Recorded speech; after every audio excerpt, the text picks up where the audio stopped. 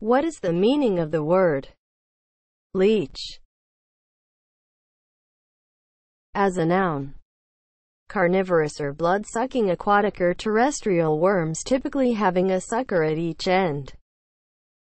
A follower who hangs around a host without benefit to the host, and hope of gain or advantage.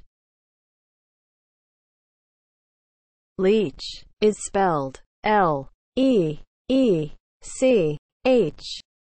Leech